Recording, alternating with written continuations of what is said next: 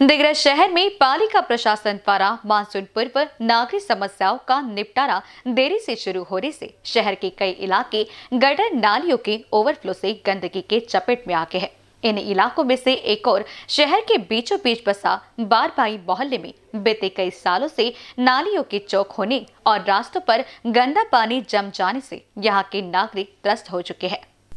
मालूम हो कि हर साल उपजने वाली इस समस्या से हैरान यहाँ के लोगों ने पालिका प्रशासन को ज्ञापन सौंपकर मानसून पर्व नियोजन की मांग की थी, जिसके बाद पालिका के मुख्याधिकारी शेषराव टाले ने गंभीरता दिखाई और नालियों की साफ़ सफ़ाई की गई।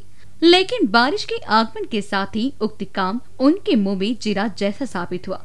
यहाँ के निवासियों का आरोप है कि स्थानीय नगर सेवक और जन प्रतिनिधि इस समस्या से पहले ही अवगत थे।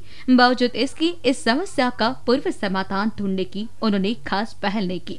नाली साफ़ सफ़ाई जैसे कामों को यहाँ हाल फ़िलहाल में शुरुआत हुई है, लेकिन वो भी काफ़ी नहीं है।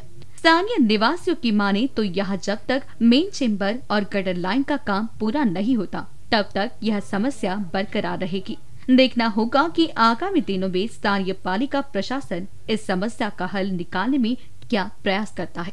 बेसन न्यूज़ के लिए तिग्र ऐसी जुबेर खान की रिपोर्ट।